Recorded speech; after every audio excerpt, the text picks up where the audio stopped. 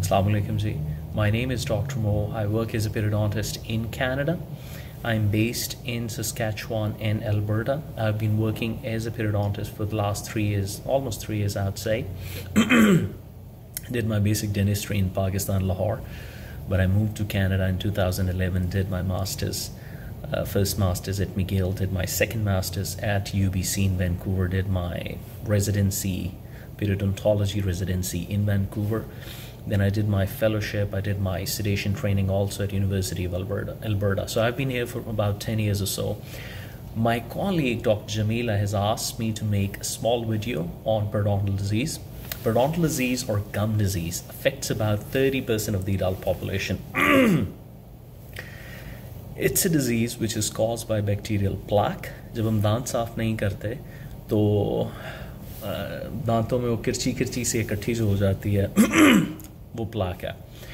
now plaque induces our body to produce some antibacterial stuff which tries to fight against the bacteria in the plaque. But in doing so it also damages the bone and the gums.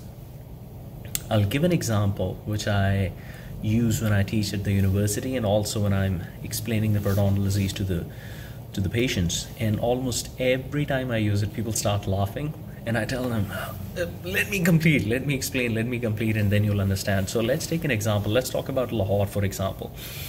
So let's say the aliens invade Liberty Market, Lahore. वहाँ पे aliens आ गए ठीक है और let's say जो पाकिस्तान की force है that sends their jets to bombard the heck out of aliens. Let's say they send their the वो कौन सा जी जी एफ सेवनटीन है वो और एफ सिक्सटीन जो सारे वो भेजते हैं और वो aliens की bombing करके बेड़ा गर्क कर देते हैं The good news is that the aliens are dead. The bad news is pretty much everybody in the liberty market is also dead.